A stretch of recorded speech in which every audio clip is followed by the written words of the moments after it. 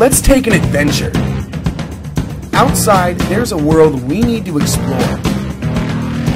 We should go somewhere exciting, somewhere we can be kids. Let's fly over the water, roll in the dirt, and swing through the trees. This summer could be a summer we never forget.